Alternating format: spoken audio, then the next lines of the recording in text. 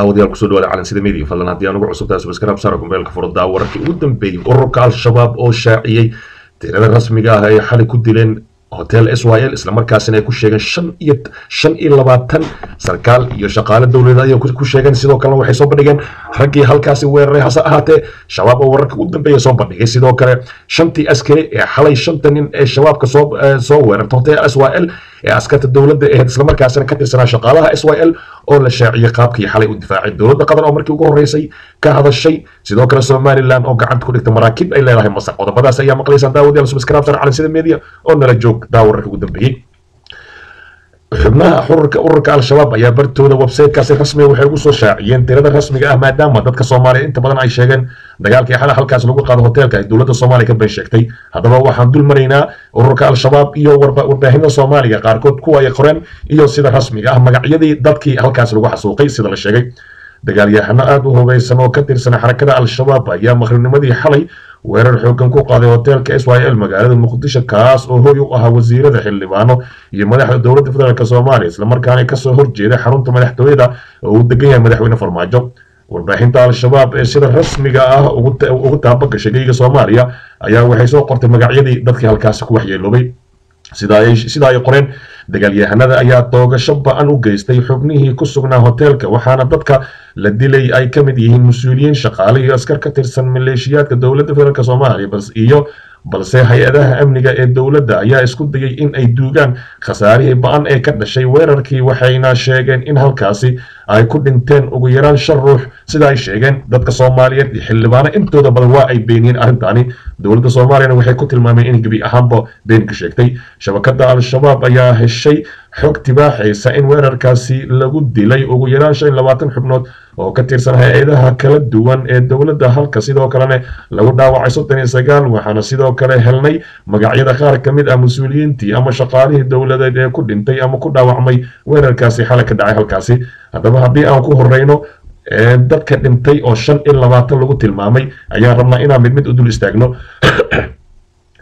Cabdiqaadir cumar cabdi oo ahaa garsoore ka mid ahaa maxkamadda racfaanka maxamuud ismaaciil muuf oo ahaa taliyaha ciidamada madaxtooyada cali daahir salaad oo ahaa sarkaal ka tirsan wasaaradda dastuurka fu-aad ugaas yacquub oo ahaa sarkaal ka tirsan dhanka iyo dhanka bankiga dhexe nin nin magaciisa lagu koobay ibraahim oo ahaa agaasimaha waaxda dhaqanka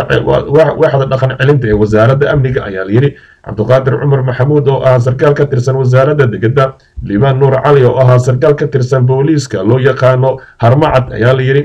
ilyaas carab oo ahaa sarkaal ka tirsan waxaa lagu yeero hay'adaha nabad sugidda ama nabad sugidda ayuu ka tirsan ayaa layidhi buucbuuc oo ka mid ahaa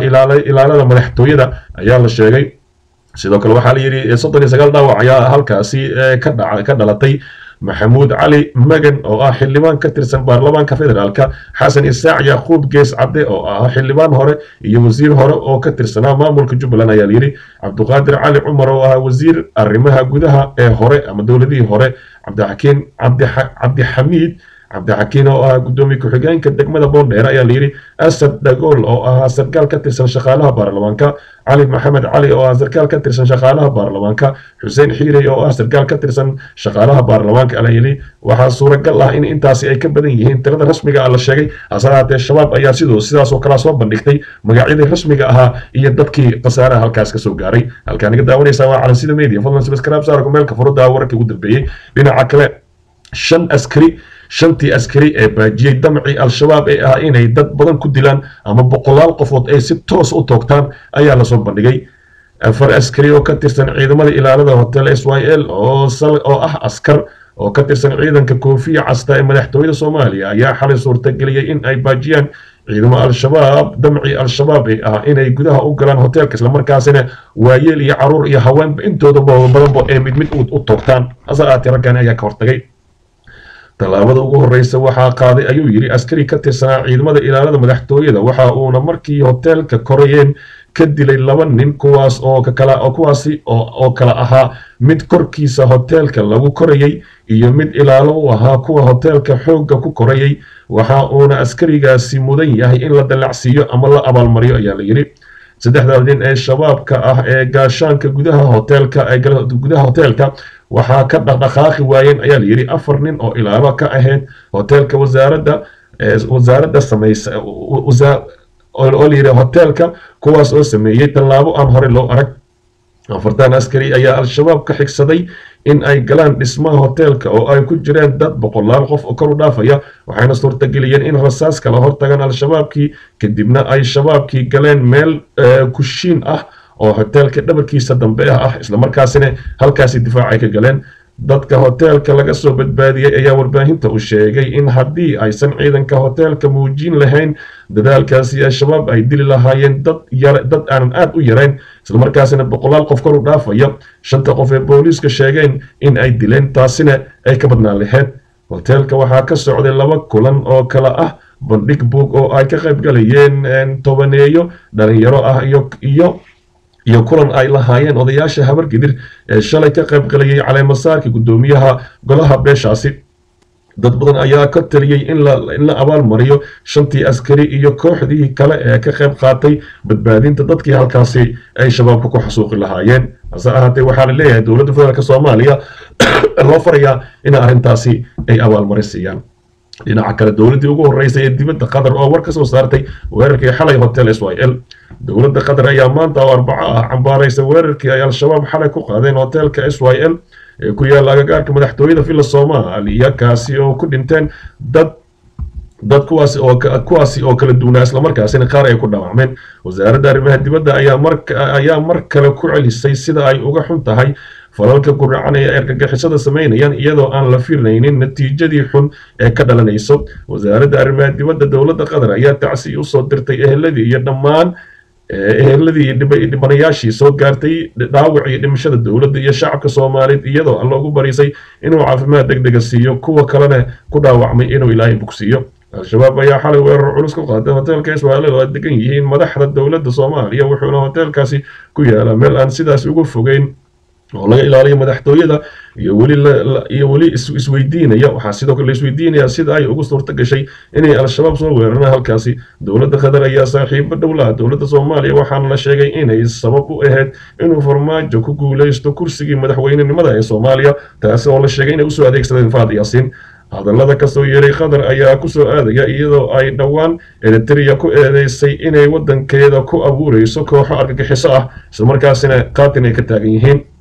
halkaa naga daawanaysa oo calansida media fadlan subscribe saar gameelka furada wararkii ugu dambeeyey maamulka somalilan oo gacanta ku soo dhigay afar markab oo ay leeyihiin dowladda masar islamarkaasina si sharci darra ku kulmalaysanayay